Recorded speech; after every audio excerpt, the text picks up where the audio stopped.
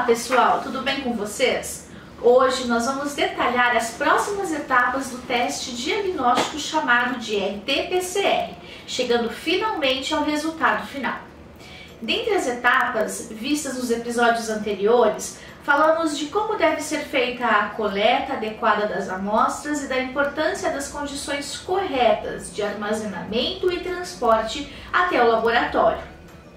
Vimos também que quando a amostra chega no laboratório, o processamento se inicia com a extração de RNA e em seguida a reação de transcrição reversa, visando a obtenção de um DNA complementar, o cDNA.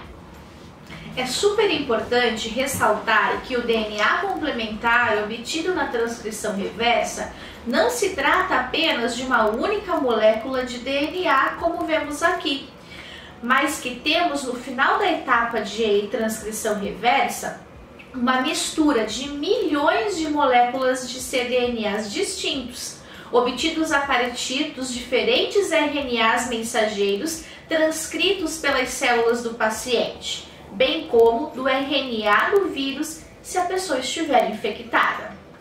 Assim, nessa próxima etapa que vamos descrever, o objetivo é encontrar especificamente o cDNA do vírus dessa mistura de cDNA e gerar milhões de cópias desse alvo, permitindo que seja mais fácil a sua visualização. A etapa que permite gerar as cópias de DNA é chamada de PCR. Esse nome é uma sigla que vem lá no inglês, Polymerase Chain Reaction e que traduzido para o português se torna reação em cadeia da polimerase, PCR.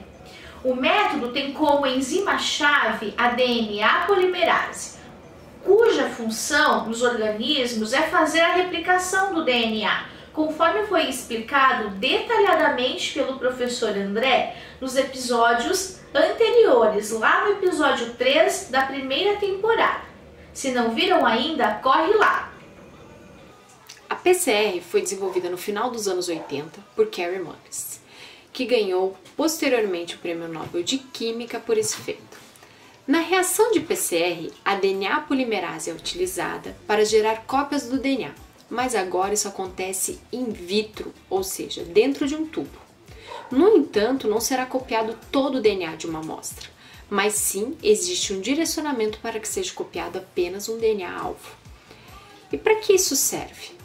Basicamente, isso permite, por exemplo, encontrar o material genético de um patógeno numa determinada amostra, o chamado diagnóstico molecular, que será o que a gente vai falar nesses próximos vídeos.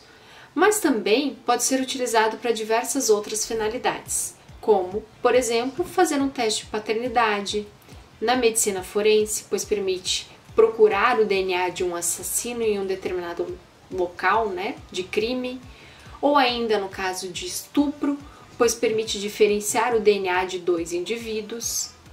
Também é utilizado na identificação de espécies e em muitas outras aplicações. Para conseguir fazer isso fora da célula, a DNA polimerase precisa de condições químicas e físicas adequadas, pois lembrem que na célula o processo de replicação envolve várias outras enzimas que não serão adicionadas no tubo. Para a enzima DNA polimerase funcionar in vitro, alguns reagentes precisam ser adicionados na reação de PCR, além, é claro, do DNA molde. Para iniciar a reação de PCR, devemos adicionar um tampão, que é uma mistura de sais que fornecerá as condições adequadas para a enzima funcionar. Também precisamos adicionar os nucleotídeos, chamados de DNTPs, que são os componentes base da molécula de DNA. Além disso, precisa-se adicionar um par de iniciadores ou primers, que são pequenos fragmentos de DNA. Os primers orientam exatamente qual pedaço de DNA será copiado várias vezes. Cada um deles se liga em uma das fitas de uma região específica do DNA por complementariedade das bases nitrogenadas e apontam exatamente onde a DNA polimerase deve se ligar para começar o processo de cópias. Lembrem que a DNA polimerase não consegue começar a copiar do nada, ela precisa sempre de um início dupla fita. O tubo contendo a reação de um paciente X ou uma placa contendo a reação de vários pacientes, uma em cada pocinho, é colocado em um equipamento chamado de termociclador. Como o próprio nome já diz, esse equipamento permite ciclagens de temperatura e essa é a parte física do processo. Inicialmente, o equipamento faz com que cada reação atinja uma temperatura de 95 graus Celsius. Essa temperatura faz com que se abra a dupla hélice da molécula de DNA, desfazendo as ligações de hidrogênio, processo esse chamado de desnaturação. Em seguida, a temperatura é diminuída para aproximadamente 60 graus. Nessa temperatura, os primers se ligam ao seu DNA complementar de forma específica devido às suas sequências. Após essa etapa de ligação, a temperatura então é alterada para o melhor funcionamento da DNA polimerase começar a adicionar os nucleotídeos por complementariedade à fita molde, sempre no sentido 5 linha 3 linha. Normalmente se utiliza a temperatura de 72 graus nessa etapa. A DNA polimerase mais utilizada nas reações de PCR é produzida a partir de uma bactéria super resistente ao calor, a termos aquáticos. Essa bactéria foi descoberta em fontes termais e a sua DNA polimerase ela é bastante estável ao calor. Imaginem que as DNA polimerases humanas ou ainda até de outras bactérias seriam facilmente desnaturadas e teriam a sua função perdida quando aquecidas já no primeiro passo a 95 graus.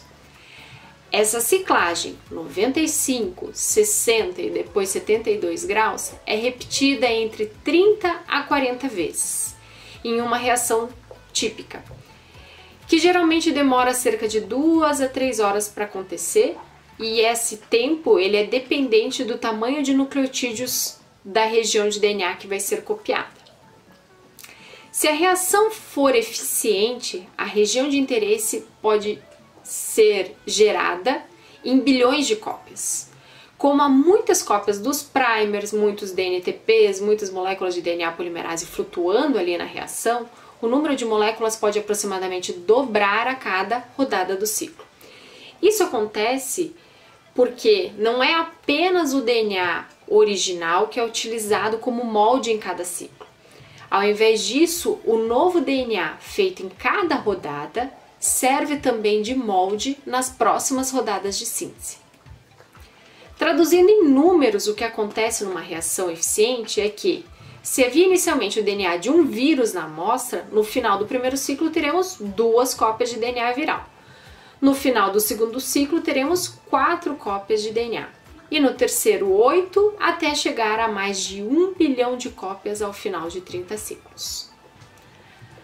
Após essa reação de PCR, chamada de convencional, a detecção do DNA amplificado normalmente é feita aplicando o produto dessa reação em um gel e esse é submetido a um procedimento chamado de eletroforese. A eletroforese em gel é uma técnica usada para separar fragmentos de DNA de acordo com o seu tamanho. As amostras de DNA são carregadas nos poços localizados em uma das extremidades do gel e uma corrente elétrica é então aplicada. Os fragmentos de DNA são todos carregados negativamente, então eles se movem sempre na direção do eletrodo positivo, sendo que os fragmentos menores conseguem atravessar o gel mais rapidamente do que os maiores. Quando um corante que se liga ao DNA é adicionado, os fragmentos de DNA podem ser visualizados como bandas, cada uma representando um grupo de fragmentos de DNA de um mesmo tamanho. No diagnóstico, como o objetivo era gerar cópias de DNA é, proveniente de um vírus, por exemplo, se o paciente estivesse infectado, fica fácil é, da gente entender como que se dá esse resultado. Ou seja, o paciente infectado tinha vírus na sua amostra coletada. O resultado esperado então é que exista uma banda de tamanho equivalente à quantidade de nucleotídeos da região contida entre os dois primers específicos. Agora, num indivíduo que não estava infectado, não havia vírus na amostra e, consequentemente, não havia DNA referente ao vírus para ser copiado. Dessa forma, no resultado do gel não existirá nenhuma banda.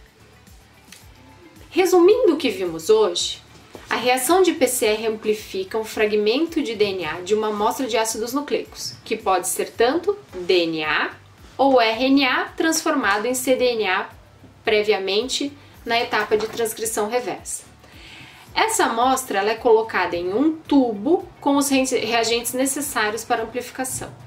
Este é colocado num termociclador que permite as mudanças de temperatura, que vão proporcionar à enzima gerar as cópias do fragmento específico em escala logarítmica. Para checar a amplificação, se faz um gel, que permite a visualização ou não de bandas. Então, se tem uma banda, isso significa que os primers reconheceram por complementariedade uma porção do DNA na amostra, sendo que eles são sempre específicos para o que se quer amplificar. No caso da detecção de um vírus, os primers encontram e amplificam seu material genético e uma banda é detectada. Se não apareceu banda, significa que os primers não encontraram a porção de DNA equivalente, não houve amplificação, sendo o teste negativo. No nosso próximo vídeo, iremos falar da técnica de PCR em tempo real, que é uma evolução da técnica de PCR. E é a técnica que de fato é utilizada no diagnóstico da Covid-19. No entanto, não tem como entendê-la sem os conceitos básicos vistos aqui hoje. Assim, aguardamos vocês para o nosso próximo episódio.